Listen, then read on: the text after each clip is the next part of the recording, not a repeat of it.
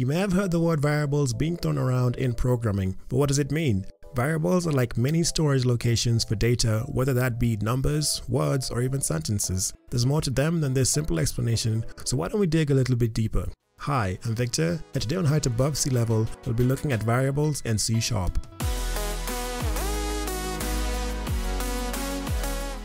Before we get started, if you want to talk more about this kind of thing, be sure to follow me on Twitch at Height Above Sea Level, where I do some live coding sessions as well as try and answer some of your questions as best I can. Here we are in Visual Studio and we'll be working with a console application that I made in one of my other videos called Visual Studio for Beginners. So if you're not sure how to get set up with Visual Studio 2022 or any other version that you're using, be sure to check that out where we created my first app and we did some, we wrote something on the console, just something simple. But if you're not sure how to get set up, that video should help you out. All right, variables. Like I said before, variables like mini storage locations for data like strings, numbers, and what have you.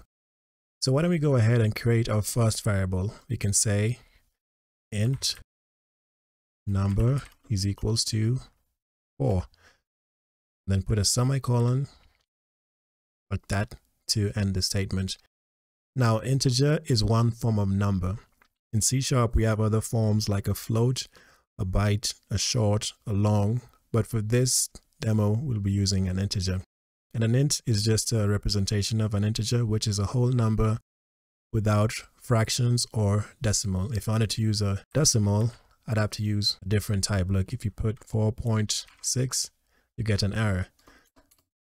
To do that, you'll need a different type and that'll be a float right here. But for today, we're using an integer. And what we're saying is this number that we've, this word number, every time you use it, it's equals to four.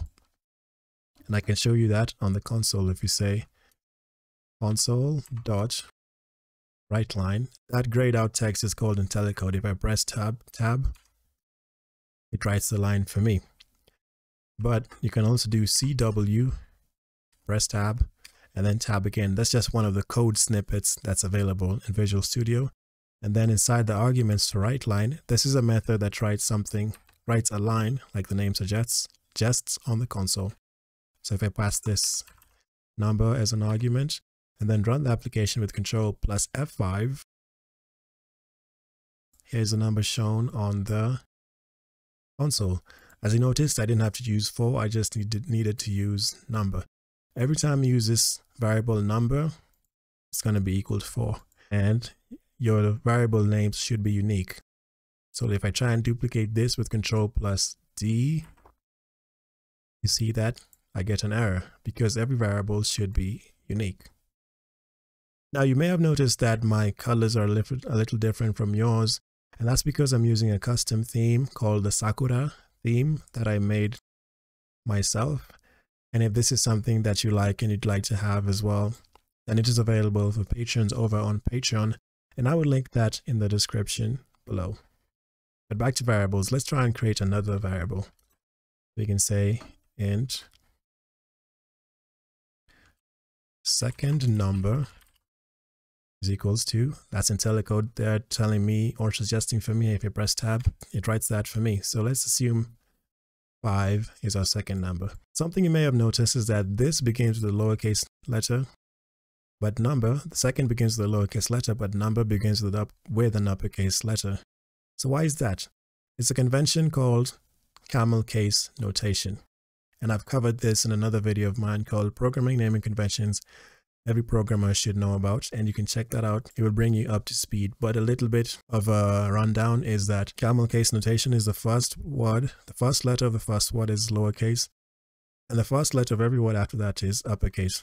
So if i had to do something like int second number large equals 100 as you can see every word after I can put my semicolon.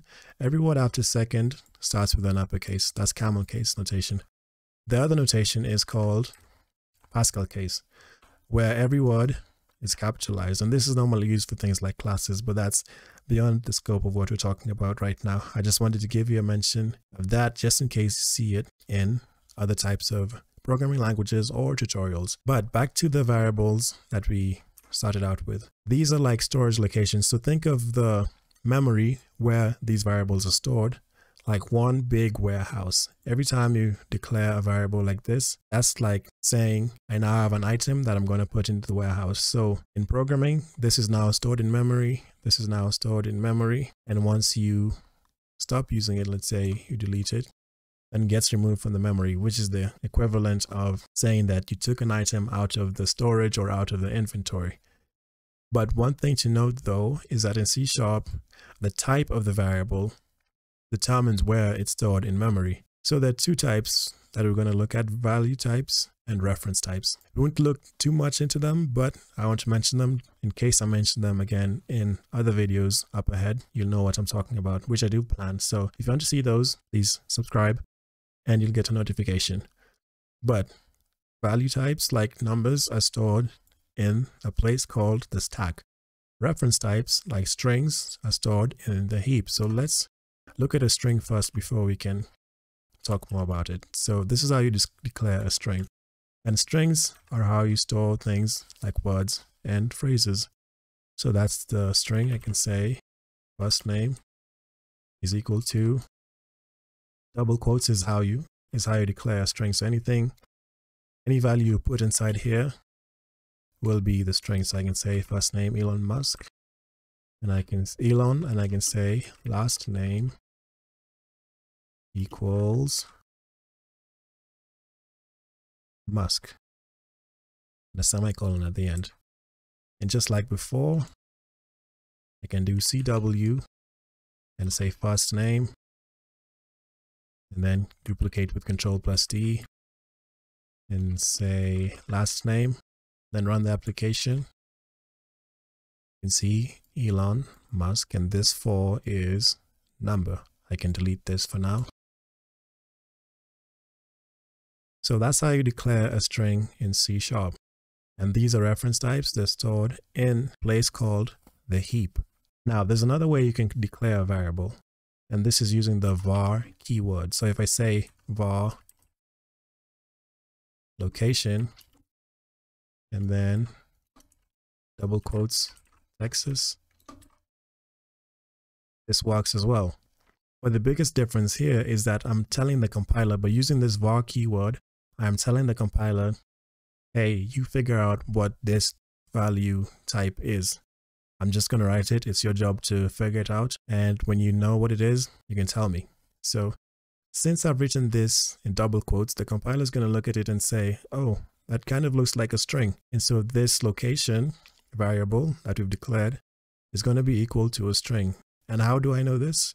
You can hover over the var keyword and you'll see this little text box saying class system of type string. String is a class that's available in the system namespace. And the namespace is just a place where you store many classes. A class is where you store related code. You can see we're working with a program class right here. But a string is written like this. And if you use var and it sees double quotes, it'll be like, hey, it kind of looks like a string. And if you want to confirm, hover over string as well and it'll say system.string, you see, is the same. I can even do this with a number like, not sire, but score is equal to 34. And if I hover over var again, this system int 32, an integer. And if I go over number here, it's the same thing, integer. And even if you write them on the console, look, CW, tab, then I say score. Here it is, 34. Same thing with uh, location. Control plus F5. Texas. So this is just another way to make your code a little bit cleaner because imagine if you had to write something like this. You'll have string, string, string, string, string, and it looks a bit unclean and untidy. So if you use var, it's a bit cleaner, a bit more readable, and a bit less redundant. So var, you can also think of it just means variable. Var for the score, var for the string that's location, and it works just as normal as these other ones. But before I go, I want to show you something else that you can use variables in operations. So I can say var total is equals to number plus second number large. I just press tab there, tab again. So number is equals to 4 and second number large is equals to 199. So what do you think the total will be? Why don't we find out?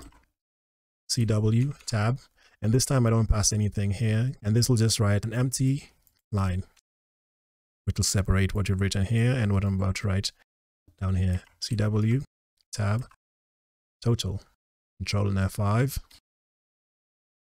203 which is basically 199 plus 4 maybe I can make this something simple like 1 so number and second number. Second number large I run the application. Gives me 5 right here. And this is the empty line that I wrote over here. I should probably close these extra consoles. Yes, and that's it for variables. I hope you found this interesting. Have you worked with variables in other language or is this your first time learning about variables? And did you learn something new today? Let me know in the comments below. Also, be sure to follow me on Twitch at Height Above Sea Level if you want to talk more about this kind of thing live on stream. And if that doesn't work, come hang out on Discord instead. Just click the link in the description below and become a member of the Water Tribe today. Thank you so much for watching, and as always, from me to you, deuces.